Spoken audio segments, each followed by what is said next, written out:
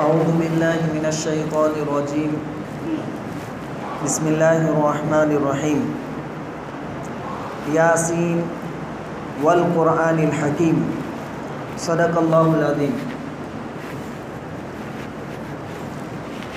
गुज्त कल सुर यासीन की फजीलतें हमने सुनी थी आज पहली दो आयतों का दर्स हमें सुनना है सबसे पहले इस सूरत का शान नज़ुल क्या है? यानी किस वाक़े के पश मंज़र में ये सूरत नाजिल हुई? तफसीर मजहरी में हज़रत अब्दुल्ला इब्न अब्बास रदी अल्लाह तुमा से रिवायत नकल की गई है कि नबी करीम सल्लल्लाहु अलैहि वसल्लम की आदत मुबारक ये थी, क्या हरम मक्का में यानी काबतुल्लाह के पास ज़ोर ज़ोर से कुरान करीम की तिलावत करते थे। मुशरकिन मक्का इस तिलावत को सुनते थे। तिलावत को सुनकर उनको बहुत तकलीफ़ होती थी, दुख होता था। एक मरतबा नबी करीम सल्लल्लाहु अलैहि वसल्लम कुरान करीम की तिलावत कर रहे थे। चंद काफिर और मशरकिन वहाँ जमा थे। उन्होंने सोचा कि चलो वहाँ जाते हैं और मोहम्मद सल्लल्लाहु अलैहि वसल्लम को पकड़ लेते हैं और जितनी हो सके उनको तकलीफ़ पहुंचाते हैं। अब ये लोग खड़े तो हुए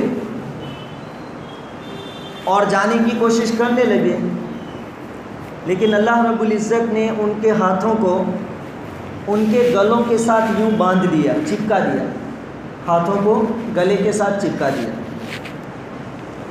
और तकलीफ़ पहुँचाने का इरादा था।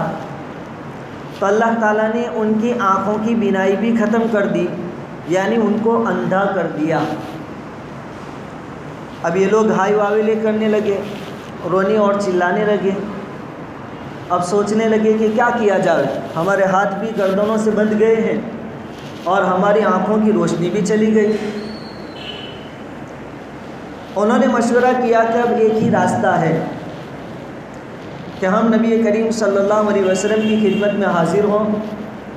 आपसे दरख्वास्त करें। आप हमारे लिए दुआ कर देंगे तो इन ये मुसीबत दूर हो जाएगी। उनको भी यकीन था। चुनानचे वो लोग नबी करीम सल्लल्लाहु अलैहि वसल्लम की खिदमत में हाजिर हुए और आपसे अर्ज़ किया कि इस तरीके से हम आपको तकलीफ़ पहुँचाने के लिए आ रहे थे, लेकिन हम खुद तकलीफ़ में मुब्तला हो गए। आप हमारे लिए दुआ कर दीजिए ताकि हमारी ये मुसीबत दूर हो जाए अब चूँकि नबी करीम सल्लल्लाहु अलैहि वसल्लम ये भी कुरेश ख़ानदान के थे, और ये जो मुशरकिन मक्का थे वो भी कुरेश ख़ानदान के थे, इसलिए उनमें से हर शख्स किसी न किसी तरह हमारे नबी सल्लल्लाहु अलैहि वसल्लम का रिश्तेदार होता था। नबी करीम सल्लल्लाहु अलैहि वसल्लम ने उनके हक़ में दुआ फरमा दी। अल्लाह ताला ने उनकी तकलीफ़ को दूर कर दिया।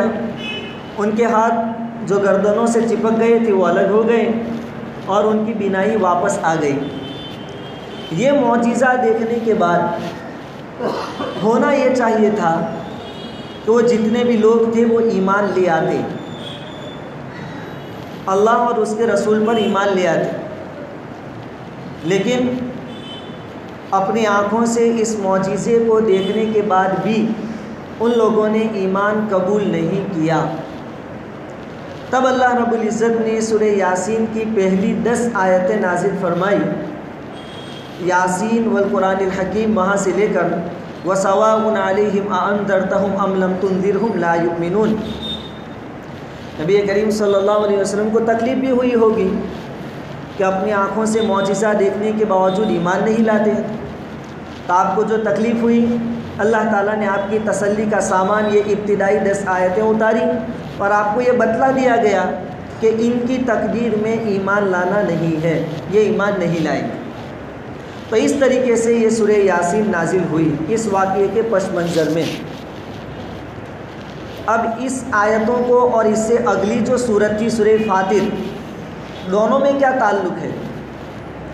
दोनों में रब्त और ताल्लुक़ ये हैं कि अगली जो सूरत है, उसमें मुशरकिन का एक कौल नकल किया था। मुशरकिन ये कहते थे व यकूनदीन कफ़रू लस्त मुरसला।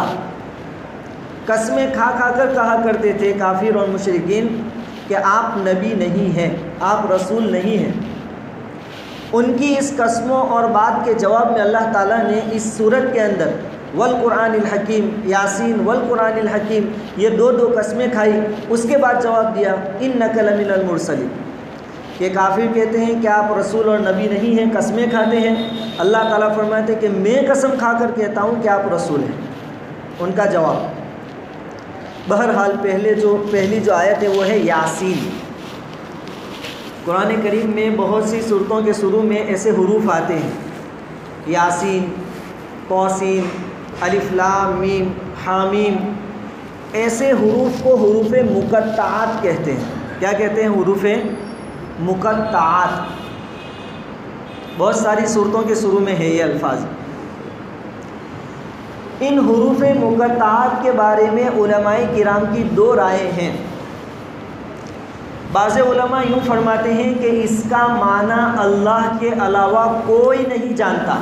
ये जो हरूफ मुकत्तात है उसका माना अल्लाह के अलावा कोई नहीं जानता। और बाज़ की राय ये है कि अल्लाह जानते हैं और अल्लाह ने अपने महबूब नबी, यानी रसूलुल्लाह सल्लल्लाहु अलैहि वसल्लम को भी सिखलाए थे। अल्लाह और उसके रसूल के अलावा कोई नहीं जानता। ये दो राय की है।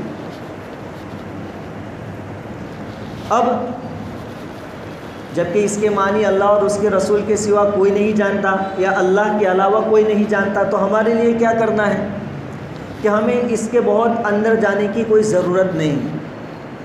इसका क्या मतलब होगा?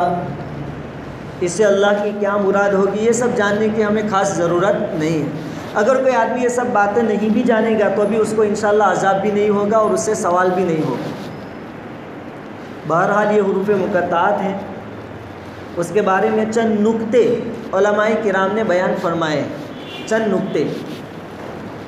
देखो, एक है अंग्रेज़ी ज़ुबान। उसकी शुरुआत होती है ए बी सी डी से। इसको अल्फ़ाबेट कहते हैं। ऐसे ही हमारी गुजराती ज़ुबान में क, ख, ग, ये है। इसी तरह अरबी ज़ुबान में अलिफ, बा, ता, सा, जीम, हा, ख से लेकर या तक। ये अल्फ़ाबेट है अरबी के। अरबी के अल्फ़ाबेट कुल मिलाकर उनतीस है, जिसको हरूफ तहजीबी कहते हैं। ये उनतीस है, अलिफ से लेकर या तक। लेकिन उसमें जो हमज़ा है और शुरू में अलिफ है किराम फरमाते हैं कि ये दोनों एक ही है। क्योंकि अलिफ जब उसके ऊपर ज़बर, ज़ेर, पेश या कोई भी हरकत आएगी तो वो अलिफ नहीं रहेगा, हमज़ा हो जाएगा। तो ये भी हमज़ा और अखिर में भी हमज़ा, दोनों की आवाज़ भी एक ही है। तो किराम फरमाते हैं कि अब उनतीस के बजाय कितने हरूफ बचे? अट्ठाईस। अट्ठाईस हरूफ बचे। अट्ठाईस में से अल्लाह रब्बुल इज़्ज़त ने चौदह हरूफ का इस्तेमाल फरमाया, हरूफ मुकतात में। चौदह हरूफ का। देखो, अल्लाह की हिकमत देखो, कारीगिरी देखो। अट्ठाईस में से चौदह को इस्तेमाल फरमाया, और चौदह भी कौन से? कि पहले जो नौ हरूफ है, अलिफ, बा, ता, सा, जीम, हा, ख, दाल और दाल। पहले नौ में से सिर्फ़ दो को इस्तेमाल फरमाया, अलिफ को और हा को। बाकी सात को छोड़ दिया। उसके बाद के जो दस हरूफ है, रो, ज़ा, सीन, शीन सौद दौद तो व, आइन और गैन इन दस में से अल्लाह ने एक को लिया, दूसरे को छोड़ दिया, यानी पाँच लिए। रॉ को लिया, ज़ा को छोड़ दिया, सीन को लिया, शीन को छोड़ दिया, सौद को लिया, दौद को छोड़ दिया तो को लिया, दो को छोड़ दिया, आइन को लिया, गैन को छोड़ दिया। तो पहले दो और ये पाँच, कितने हुए? सात। उसके बाद के नौ जो हरूफ है, फा से, फ़ा, कौफ, काफ, लाम, मीम, नून, वाव, हा और या। हमजा तो पहले आ चुका। इन आखिरी नौ में से दो को छोड़कर सात को लिया। फ़ा और वाव को अल्लाह ताला ने छोड़ दिया। उसके अलावा जो सात थे, सबको ले लिया। तो पहले सात और ये सात कितने हो गए? चौदह। हरूफ मुकतात में अल्लाह ताला ने इन चौदह हरूफ ही का इस्तेमाल किया है, बाकी चौदह हरूफ को छोड़ दिया है। और उसमें भी कभी एक ही हर्फ को लिया है, जैसे कौफ, नून, सौद, ये तीन सूरतें हैं शुरुआत है। कभी दो हर्फों को लिया है, जैसे यासीन कोहा हामीम, कभी तीन हर्फों को लिया है। अलिफ्लाम मीम और रॉ अलिफ्लाम मीम, रॉ। कभी चार को लिया है? अलिफ्लाम मीम, सौद। तीन में अलिफ्लाम रॉ। कभी पाँच हर्फ को लिया है?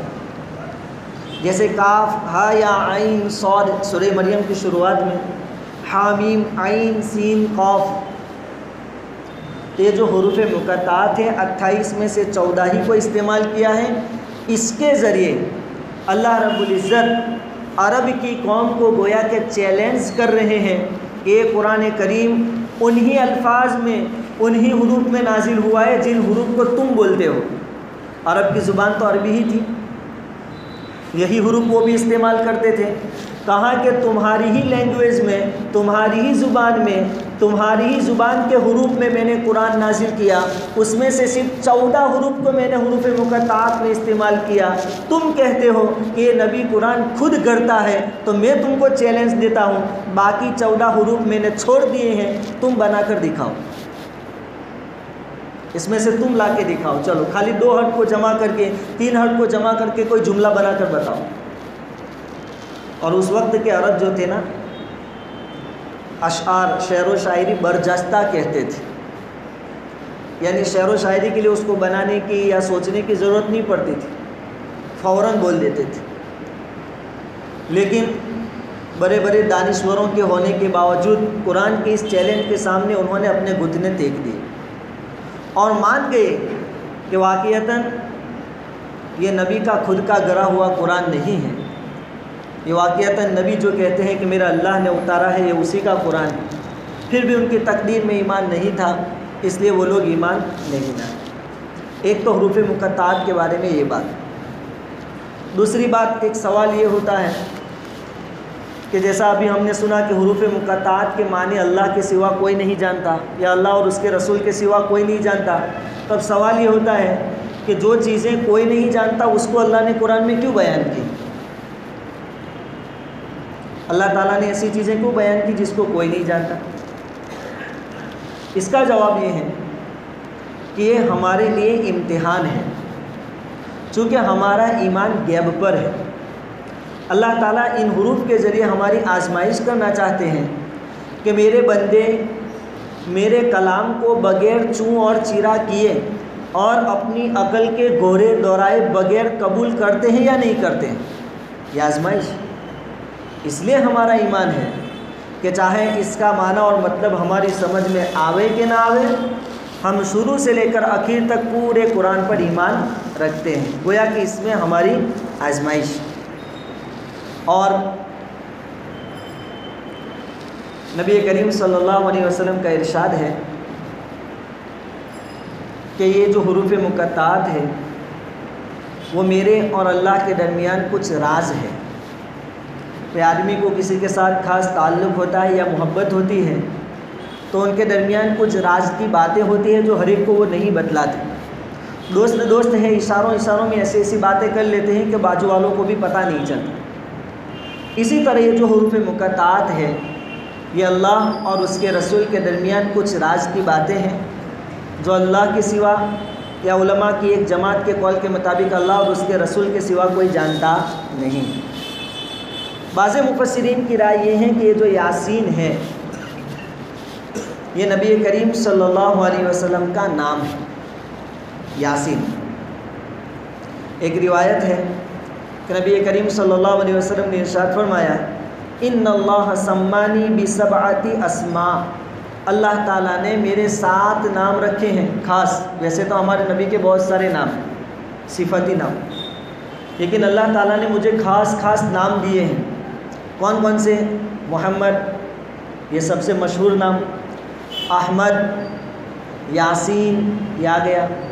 तोहा, मुजम्मिल मुद्दतिर अब्दुल्ला ये सात खास नाम है नबी करीम सल्लल्लाहु अलैहि वसल्लम। इस कॉल के मुताबिक, इस रिवायत के मुताबिक यहाँ जो यासीन है, वो नबी करीम सल्लल्लाहु अलैहि वसल्लम का नाम है। सवाल ये होता है कि चलो मान लिया, क्योंकि बाज़ मुफसरीन तो यूँ कहते हैं कि अल्लाह का नाम है। जैसे इमाम मालिक भी कहते हैं कि अल्लाह ताला का एक नाम है, लेकिन उसका तर्जमा किसी को मालूम नहीं। बाज़े कहते हैं कि नबी करीम सल्लल्लाहु अलैहि वसल्लम का नाम है, लेकिन उसका तर्जमा और मतलब किसी को मालूम नहीं। अब सवाल ये होता है कि हम हम में से कोई यासीन नाम रखना चाहे तो रख सकता है। बाज़े लोग रखते हैं क्या? तो मसला ये है कि यासीन नाम रखना तो जायज़ है, रख सकते हैं। लेकिन जब आप उसको उर्दू या अरबी में लिखेंगे तो कैसे लिखोगे? कुरान में जो लिखा है या और सीन, इस तरीके से लिखना जायज़ नहीं। याद रखना। कुरान में तो सिर्फ़ यूँ या है और उसके साथ सीन। इस तरीके से नहीं लिखेंगे। तो किस तरीके से लिखेंगे? हम लिखेंगे या अलिफ ज़बर या। या के साथ अलिफ पारेंगे, कुरान में अलिफ नहीं है। और सीन लिखेंगे तो सीन, फिर या और फिर नून। ऐसा यासीन हम लिखेंगे। डायरेक्ट जो कुरान है वो यासीन लिखना जायज़ नहीं। हाँ तो मसला ये है कि यासीन नाम रखना चाहे तो रख सकते हैं, लेकिन लिखते वक्त इसको याद रखें कि अरबी या उर्दू में लिखें तो या और अलीफ फिर सीन या और नून इस तरीके से यासिन लिखें। ठीक है? इमाम मालिक रहमतुल्लाह फरमाते हैं कि यासीन नाम रखना दुरुस्त नहीं है। इमाम मालिक कहते हैं, हम तो इमाम अबू हनीफ़ा रहमतुल्लाह अलैह के मानने वाले हैं, हमारे नज़दीक तो जायज़ है। इमाम मालिक क्यों ना फरमाते हैं? वो फरमाते हैं कि यासीन अल्लाह का नाम है। और इसका तर्जुमा किसी को मालूम नहीं।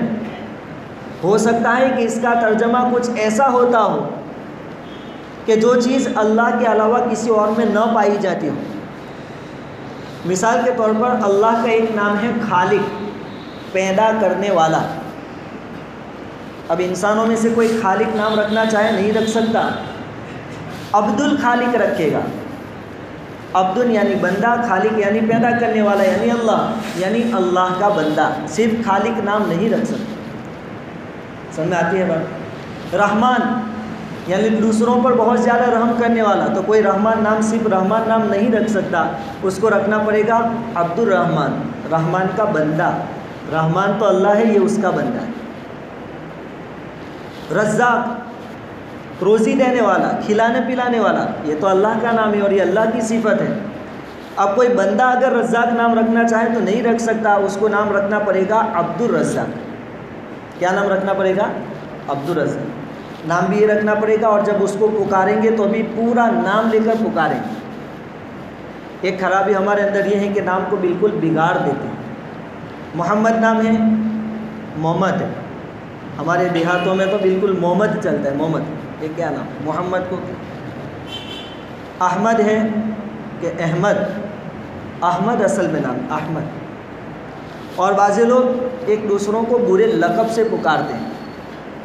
हालाँकि कुरान कहता है, वला तना बजू बिलक़ाब बुरे लकब से किसी को ना पुकारो, सबके नाम रखे गए हैं अच्छे अच्छे नाम हैं, नाम के साथ लोगों को पुकारा था बहरहाल, ये जो यासीन का लफ्ज़ था, उसके बारे में चंद बातें हमारे सामने आई। ये हरूफ मुकतात में से हैं। खुलासा बता दूँ, इसका मतलब और तर्जमा अल्लाह के सिवा या अल्लाह और उसके रसूल के सिवा कोई नहीं जानता है। यासीन नाम रखना जायज़ है, लेकिन लिखते वक्त इतना ध्यान रखें कि जैसा कुरान है, ऐसा नहीं लिखेंगे। या के साथ अलिफ भी लिखेंगे, सीन भी लिखेंगे, फिर या फिर नून लिखेंगे, इस तरीके से यासीन लिखेंगे। आगे दूसरी आयत है, वल कुरान हकीम। अल्लाह रब्ज़त कुरान हकीम की कसम खा रहे हैं। अल्लाह ताला को कसम खाने की कोई ज़रूरत नहीं। फिर भी ताक़ीद के लिए, जैसा कि मैंने पहले भी कहा कि कुफ़ार मक्का कस्में खा खा कर हमारे नबी से कहते थे कि आप नबी नहीं हैं। कसम खाकर कहते थे। अल्लाह ताला ने उनके जवाब में कसम खाकर फरमाया, ये मेरे भेजे हुए नबी। कसम के बदले में अल्लाह ने कसम खाकर जवाब दिया। अल्लाह ने किसकी कसम खाई? वल कुरान हकीम। और कसम है हमतों वाले कुरान की। वाक़ता ये कुरान बड़ी हमतों से भरपूर है। लेकिन हमारी रसाई, हमारी पहुँच वहाँ तक नहीं हो पाती। इसकी बहुत सारी वजूहत है अवलन तो हम इसके पीछे लगे ही नहीं, कि हमने इसको समझने की कोशिश ही नहीं की। बहरहाल, कुरान अजीब व गरीब हमतों वाला है। दो हमत मैं आपके सामने मुख्तसरन पेश कर दूँ, दो हमतें सिर्फ़। देखो, मुसलमान जब इंतकाल कर जाता है, मर जाता है तो उसको क्या किया जाता है? दफन किया जाता है। ये दफनाना ये किसने बताया? कुरान ने बताया। कुरान ने इशारा किया। हमत देखना। कुरान में, भाई, हम दफन करते हैं तो कौन सी दुआ पढ़ते हैं? कुरान ने नकल की है। पहली मरतबा जब मिट्टी डालते हैं तो मिनहा खलक ना को हमने तुमको मिट्टी ही से पैदा किया था, कुरान कहता है। दूसरी मरतबा मिट्टी डालते हैं तो वफ़ीहा नुईदुकुम। अल्लाह कहते हैं कि हम तुमको इसी की तरफ़ वापस भी लौटाएँगे। मिट्टी से निकले थे, मिट्टी में वापस लौटाएँगे और फिर वमिन हा नुखरिजुकुम तारतन उखरा। और इसी मिट्टी से क़यामत के दिन हम दूसरी मरतबा तुमको ज़िंदा करेंगे, उठाएँगे। ये दुआ हम पढ़ते ये आयत है कुरान करीम इससे भी इस बात की तरफ़ इशारा मिलता है कि आदमी के इंतकाल के बाद उसको ज़मीन में दफन करना चाहिए। इसके मुकाबले में दुनिया की बहुत सी कौमें ऐसी हैं जो अपने मुर्दों को क्या करती हैं? जला देती जलाते हैं नहीं भाई। अब कुरान कैसे इशारा किया देखो। कुरान कहता है कि दफनाओ। दूसरी कौमें जला देती है। हज़रत मौलाना अबरारुल हक साहब दुलियवी रहमतुल्लाह अलैह। उनका मलफूज है, इरशाद है। और हकीम उम्मत हज़रत मौलाना अशरफ अली थानवी नवरकदहू ने अपनी किताब अहकाम इस्लाम अकल की नज़र में एक किताब है उसके अंदर ये बात लिखी है कि एक मिसाल समझो कि एक मकान है। ध्यान से सुनना तो समझ में आएगी बात। एक मकान है। उसमें चार लोग रहते हैं। एक बाप है, एक माँ है, एक छोटा बच्चा है और एक खादी माँ है। खादिमा जानते हैं? नौकरानी, काम करने वाली। चार है। हम जानते हैं कि माँ का काम क्या है कि बच्चे के साथ लाड़ और मोहब्बत करे। प्यार और मोहब्बत करे बच्चे के साथ। खादी माँ का काम क्या है कि वक्त पर खाना पीना पेश करे बच्चे के सामने, ठीक है? अब बाप को कहीं दूर सफ़र पे जाना हो तो बाप अपने छोटे बच्चे को किसके सुपुर्द करेगा, किसको सौंपेगा? माँ को के खादिमा को? आप क्या कहते हैं? हम भी तो देखें जरा के तेज़ हुआ, दिमाग के नहीं रोज़ा रखे। माँ को सौंपेगा या खादिमा को सौंपेगा? खादिमा तो सिर्फ़ खाना खिलाए लेकिन बच्चे को ज़रूरत होती है लाड़ और प्यार की। माँ की ममता की ज़रूरत होती है बच्चे तो बाप किसके हवाले करेगा?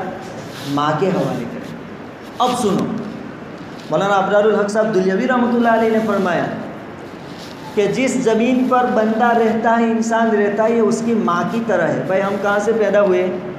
मिट्टी से। मिन्हा खलक ना को। कुरान कहता है कि हमने तुमको कहाँ से पैदा किया? मिट्टी से पैदा किया। तो गोया ये ज़मीन माँ की तरह है। एक बात। इंसान का जो जिसम है, वो छोटा बच्चा है। छोटा बच्चा है। और रूह जो है, वो असल है, यानी बाप की जगह पर है, रूह। और आग का काम क्या है? खाना पकाना, जलाना वगैरह। अब मौत के वक्त जब ये रूह सफ़र पर जा रही होती है, लंबा सफ़र होता है आखिरत का। मौत के वक्त जब ये रूह जा रही होती है तो ये तो जिसम जिसको हमने बच्चा कहा, छोटा, ये रूह जाते हुए अपने जिसम को यानी अपने बच्चे को किसके हवाले करेगी? आग के हवाले करेगी कि ज़मीन के हवाले करेगी? काम वाली के हवाले करेगी या माँ के हवाले करेगी? भाई, ज़मीन हमारी माँ की तरह है। तो ज़ाहिर बात है कि रूह जब जाएगी तो यही चाहेगी कि मैं अपने इस जिसम को किसके हवाले करके जाऊँ? ज़मीन के हवाले करके। ये कुरान की हमत है कि कुरान ने इशारा कर दिया कि मुर्दों को तो क्या करना चाहिए? दफनाना चाहिए। और वैसे भी आपको मालूम है कि जो चीज़ कीमती होती है, उसको आदमी छुपा के रखता है, ढांक के रखता है। और जो चीज़ बेकार होती है, कचरा होता है, उसको क्या करता है? जला के राख कर देखो कुरान की हिकमत। कुरान ने एक इशारा कर दिया, फिर उसमें से तुम हिकमतें निकालते चलो निकालते चलो। ये हिकमतें निकालना ये भी हर एक के बस की बात नहीं है। ये तो जो बड़े बड़े उलमा थे, अल्लाह वाले थे, जिनके सामने अल्लाह ने ये गहरे उलूम खोले थे, उन्होंने हमारे सामने ये बातें बयान की। हम समझ रहे हैं अभी। बाकी हिकमत की बातें हर एक के बस की बात। इमाम मोहम्मद अलैह बहुत बड़े इमाम हैं।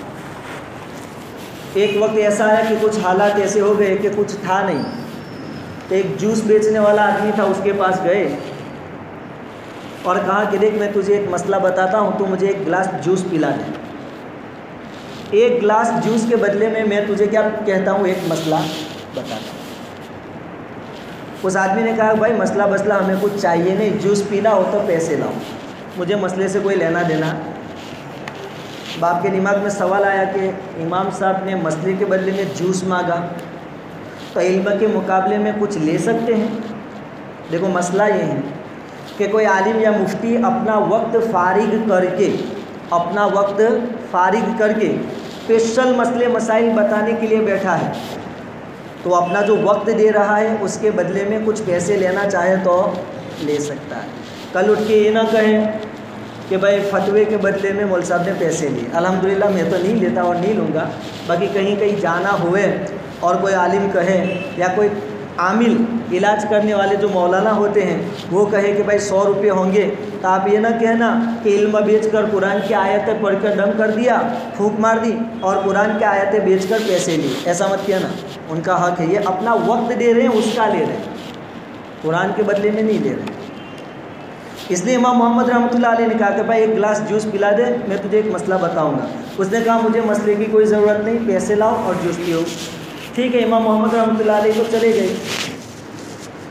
लेकिन इत्तेफाक से हुआ ये कि वो जो जूस बेचने वाला था, उसकी लड़की की शादी का मौका अब मालदार आदमी और एकाएक लड़की हो तो कैसा लाड प्यार, और यही हर बाप यही चाहता है कि कुछ नॉवेल्टी करें। ऐसी चीज़ें लड़की को जहेज़ में देवे जो आज तक किसी ने न दी हो। उस जूस वाले ने कसम खाई कि मैं मेरी लड़की को जहेज़ में ऐसी चीज़ दूँगा जिसमें पूरी दुनिया की तमाम चीज़ें आ जाए अगर मैं वो चीज़ ना दे पाया तो मेरी बीवी को तलाक। ऐसी चीज़ जिसमें पूरी दुनिया की चीज़ें आ जाए अगर ऐसी चीज़ मैंने मेरी लड़की को जहेज़ में ना दी तो मेरी बीवी को तलाक। अब आदमी जब जज्बात में होता है तो कस्में खा लेता है, फिर जब ज़रा ठंडा होता है फिर समझ में आती है कि ऐसी तो कौन सी चीज़ है जिसमें पूरी दुनिया की चीज़ें आ जा अब गाड़ी ज़रा गूंच में आ गई। उलमा के पास गए, उलमा भी हैरान हो गए कि ऐसी कौन सी कौन सी चीज़ होगी कि जिसमें दुनिया की तमाम चीज़ें आ जा इमाम मोहम्मद अलैह के पास गए। इमाम मोहम्मद अलैह ने फरमाया कि तू अपनी लड़की के जहेज़ में कुरान दे दे। कुरान खुद कहता है, वला रतबी वला या बिसमिल्लाफी किताब मुबीन। कोई सूखी चीज़ और कोई गीली चीज़ ऐसी नहीं है जिसका तस्करा कुरान में मौजूद ना हो। कुरान में दुनिया की तमाम चीज़ें मौजूद है तो अपनी लड़की के जहेज़ में कुरान दे दे, तेरी बीवी तलाक से बच जाएगी हिकमत की बातें, हर एक के बस की बात। ठीक है। कुरान ये हिकमत वाला है, एक दूसरी मिसाल। इसको खास करके ध्यान से सुने। कुरान क्या कहता है कि अगर किसी औरत को तलाक हो जाए तो वो तीन हैज़ तक इद्दत में बैठेगी कितने हैज़ तक? इद्दत पूरी होने से पहले अगर निकाह करना चाहे तो भी कर सकती नहीं। है और अगर कोई कर भी ले, चाहे कितने बड़े मौलाना को बुला कर लाए 160 किलो वज़न हो और बड़ी से बड़ी टोपी पहना के बिठा दो। लेकिन इद्दत की हालत में आप निकाह करोगे तो निकाह होगा। याद रखने से। कुरान कहता है, वल मुतलका तो या तरबस नबी अनफुसहिन तला तकुरु तलाक वाली औरतें अपने आप को तीन हैज़ तक घर में रोके रखें, यानी दूसरा निकाह ना करें और घर से बाहर भी ना निकलें। अब ये तीन हैज़ की कैद क्यों लगाई? और जिस औरत का सोहर मर गया हो, उसके लिए तो चार महीने और दस दिन। ये भी कुरान में है। वल्लदीन यतौफ़ून मिनकुम अजवाजन या तरबस नबी अनफुसिन अरबाता शनि वाशरा चार महीने दस दिन सोहर मर जाए तो और तलाक हो तो तीन है इसकी वजह आज की साइंसी तहकीक के अतबार से मैं आपको बताता हूँ एक बहुत बड़ा यहूदी डॉक्टर था डीएनए टेस्ट का माहिर था डीएनए टेस्ट जानते हो डीएनए टेस्ट किया जाता है उसका बहुत बड़ा माहिर था उसके दिमाग में बात आई कि कुरान तीन हैज़ तक औरत को रुकने का हुक्म क्यों देता है? कोई तो बात होगी उसको यकीन था कुरान पर। था यहूदी, मुसलमान नहीं था। इसने रिसर्च किया। रिसर्च में ऐसी बात उसके सामने आई कि जब एक शोहर किसी अपनी बीवी के साथ शोहर अपनी बीवी के साथ जब हम बिस्तरी करता है तो उसका डीएनए, यानी शोहर का डीएनए औरत के अंदर मुंतकिल हो जाता है, सप्लाई हो जाता है उधर। अब जब एक मरतबा औरत को है जाएगा तो थोड़ा बहुत निकल जाएगा खून के साथ। दूसरी मरतबा आएगा, वो जो डीएनए गए हैं, मुंतकिल हुए हैं, वो थोड़े निकल जाएँगे। और तीसरी बार जब खून आता है तो बिल्कुल ख़त्म हो जाते, पूरे निकल जाते ये हकीकत उसके सामने आई। कि अगर तीन मरतबा से पहले अगर दूसरे निकाह की इजाज़त दे दी जावे और ये दूसरा शोहर उसके साथ हम बिस्तरी करेगा तो पहले का भी डीएनए अंदर मौजूद है और ये दूसरे का भी मौजूद हो गया तो फिर आने वाले बच्चे के नस्ल का मसला खड़ा हो जाएगा कि इसका बाप कौन? पहला शोहर था वो या ये दूसरा है जब यहूदी के सामने बात मुनकशिफ हुई तो उसने अपने बच्चों का डीएनए टेस्ट किया, उसके तीन बच्चे थे। एक बच्चे का डीएनए तो बिल्कुल उसके साथ मैच हो गया, मुकम्मल। बाकी दो बच्चों के डीएनए में गड़बड़ आई, क्योंकि उसका भी डीएनए था और दूसरा भी डीएनए पाया जाता था। दो दो, तीन तीन डीएनए पाए जाते थे। फिर जब उसने अपनी बीवी से बात पूछी तो उसकी बीवी ने अपना गुनाह कबूल कर लिया और कहा कि मेरा तुम्हारे सिवा दूसरे दो, तीन मर्दों के साथ ताल्लुक़ है। डीएनए से पता चला।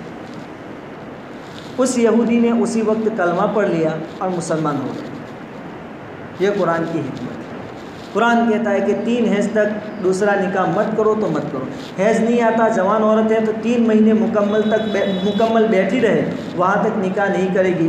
ताकि पहले शोहर के जो डीएनए उसके अंदर मुंतकिल हुए हैं वो तीन महीने में मुकम्मल ख़त्म हो जाए। सवाल ये होता है कि जिसका शोहर मर गया हो उसको चार महीने और दस दिन क्यों? उसको तीन महीने में क्यों ख़त्म नहीं होता? इसका जवाब ये है कि शोहर जब मर जाता है तो औरत जो है ना वो गम में होती है, गम। और जिस आदमी को गम लाहिक हो जाता है, वो बिल्कुल दुबला पतला हो जाता है, कमज़ोर हो जाता है। पता है? नौजवानों को तो अच्छी तरह पता होगा और कोई भी गम, किसी भी तरह का गम हो, आदमी का खाना पीना बेकार हो जाता है, लज्जत ख़त्म हो जाती है। और उसका जिसम क्या हो जाता है? कमज़ोर हो जाता है। अब इस औरत इस औरत का शोहर मर गया, जिसकी वजह से उसको गम लाहिक हुआ। अब उस औरत का जिसम कमज़ोर हो गया तो उसके जिसम में से उसके शोहर के डीएनए को निकलते निकलते वक्त ज़्यादा लगता है। इसलिए शरीयत कहते हैं कि यार तीन महीने से काम नहीं चलेगा, क्योंकि जिसम कमज़ोर है, डीएनए निकलते निकलते ज़्यादा देर लगेगी। इसलिए शरीयत कहते हैं कि चार महीने और दस महीने समझ में आती है बात? ये कुरान की हिकमत है। ये तो आज साइंस हमको बता रही है। कुरान तो आज से साढ़े चौदह सौ साल पहले बता दिया। हिकमत है तुम ढूंढो। बात असल ये है कि हमारी रसाई हमारी पहुँच वहाँ तक नहीं होती। और ये जो साइंस है, ये कोई शरीयत के ख़िलाफ़ चीज़ नहीं है। कारी मोहम्मद तैयब साहब रहमत फरमाया करते थे कि साइंस जो है ना, वो दीन की खादिमा है। ये नई नई चीज़ें जो मुनकशिफ करती हैं, ढूंढ के लाती है। उससे हमारी कुरान की बातें ही साबित होती। ये ये डीएनए वाला मसला हमारे सामने ना होता तो हम कैसे जानते? साइंस की डीएनए पर तहकीक ना होती तो हम कैसे जानते कि ऐसा ऐसा मसला है? बहरहाल हम तो मुसलमान हैं, हमारे लिए तो कुरान का हुक्म है यही काफ़ी है। हमत ढूंढना हमारे लिए कोई ज़रूरी नहीं है। हमारी समझ में आवे कि ना आवे, कुरान का हुक्म है, हम उसको मान लेंगे। लेकिन अल्लाह का फजल है कि हमारे सामने साइंसी तहकीकात भी आ रही है। इससे हमारा ईमान और मज़बूत होना चाहिए। इसलिए अल्लाह ताला कसम खाकर कह रहे हैं, वल कुरान हकीम यासीन, वल कुरान हकीम और कसम है हमतों से बड़े कुरान। ये दो आयतें आज के दर्स में थी। इसी पर मैं अपनी बात को ख़त्म करता हूँ। खुला खुलासे के तौर पर फिर से रिपीट कर देता हूँ ताकि बात याद रहे। क्योंकि मैं एक और तहकीक मैंने पढ़ी, साइंसी तहकीक। उसके अंदर यूँ आया था कि आदमी जब एक मरतबा कोई चीज़ पढ़ता या सुनता है तो उसके दिमाग में बैठती है। पहले दिन 80 टका वो चीज़ें निकल जाती है दिमाग में से। 80 परसेंट। फिर दूसरे दिन 50 परसेंट। फिर तीसरे दिन बिल्कुल ख़त्म। अब इसको बचाना हो तो कैसे? उसको रिपीट करना पड़ेगा। आप रिपीट करते रहोगे तो फिर कैचअप रहेगा और अंदर मेमोरी में फिट हो जाएगा। एक आध बार सुन लिया या देख लिया तो फिर याद रहना मुश्किल हो जाएगा। ताज कुल मिलाकर हमने दो आयतें पढ़ी, यासीन, ये हरूफ मुकत्तात में से है। उसका तर्जुमा अल्लाह के सिवा, या अल्लाह और उसके रसूल के सिवा कोई जानता नहीं है। यासीन नाम रखना जायज़ है हमारे नज़दीक, लेकिन लिखते वक्त वो बातें याद रखें। और फिर है वल कुरान हकीम, और कसम है हमतों से बड़े कुरान की। ये अल्लाह ताला क्यों कसम खा रहे हैं? क्योंकि गुफ़ार और मशरक़ी ने मक्का कसम खा खा कर हमारे नबी से कह रहे थे कि आप नबी नहीं हो। अल्लाह ताला उनके जवाब में कसम खा कर कह रहे हैं कि ये मेरे भेजे हुए नबी हैं। बाकी अदर्स इन शाला